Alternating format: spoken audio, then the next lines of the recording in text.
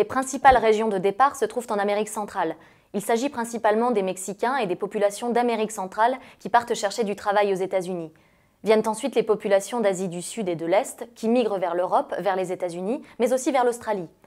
Pour les régions d'Afrique du Nord, les migrations s'effectuent soit vers l'Afrique de l'Ouest, soit vers l'Europe.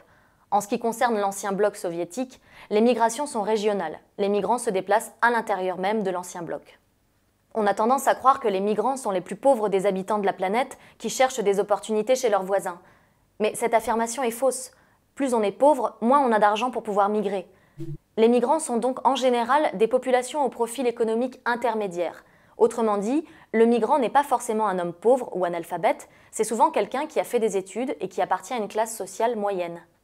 Les motivations qui poussent une personne, une famille ou une partie de la population d'un pays à migrer sont nombreuses. Elles sont tout d'abord dues à des raisons économiques. On migre pour fuir le chômage et la misère de son pays. Les migrations sont également dues à des conflits géopolitiques. La situation dramatique au Moyen-Orient rappelle chaque jour cette triste réalité. On migre donc souvent parce qu'on y est obligé.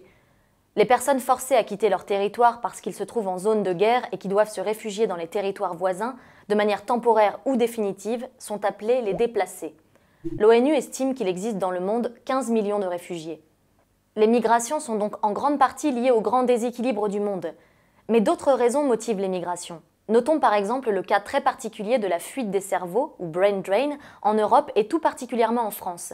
Il s'agit dans ce cas de chercheurs et de personnels très qualifiés qui préfèrent partir à l'étranger afin d'avoir d'autres perspectives de travail.